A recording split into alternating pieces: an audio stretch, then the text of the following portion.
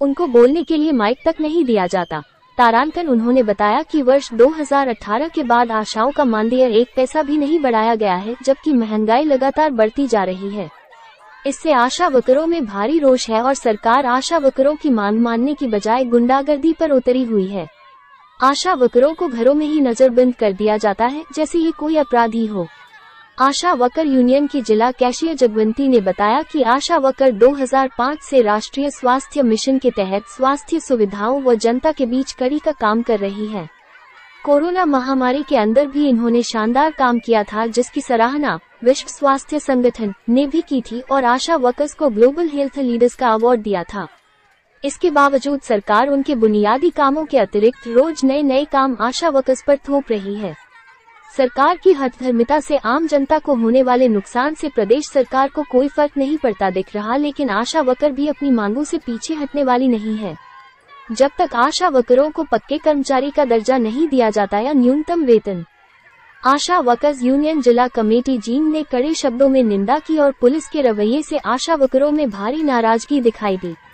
लघु सचिवालय पर जारी आशा वकरों के धरने की अध्यक्षता जुलाना सीएचसी की प्रधान रेणु व संचालन सुमन देवी ने किया।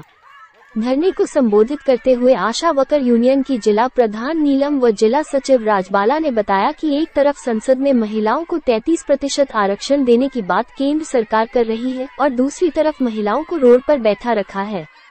महिला आरक्षण भी भाजपा सरकार का एक तरह का जुमला है, क्योंकि जब तक देश में जनगणना पूर्ण नहीं होती, तब तक महिला आरक्षण लागू नहीं होता, लेकिन केंद्र सरकार 2021 को होने वाली जनगणना अब तक नहीं करवाई। भाजपा सरकार द्वारा किए जा रहे जन संवाद के बारे में आशा वकरों ने कहा कि प्रदेश के मुख्यमंत्री व मंत्री जनता को मूर्ख बनाने का काम कर रहा है। लेकिन जब प्रदेश की जनता संवाद करने करती है तो उन्हें चाँद पर भेजने उठाकर बाहर फेंकने की बात खुद प्रदेश के मुख्यमंत्री मनोहर लाल खट्टर करते हैं।